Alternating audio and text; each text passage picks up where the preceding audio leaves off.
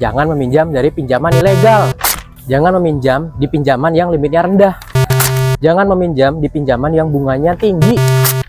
Nah, saat kamu membutuhkan dana, carilah pinjaman yang sudah berizin dan diawasi oleh OJK.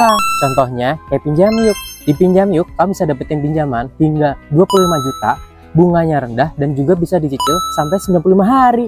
Menarik kan? Langsung aja kalian klik link di bawah video ini buat dapetin pinjaman kalian. Download pinjam yuk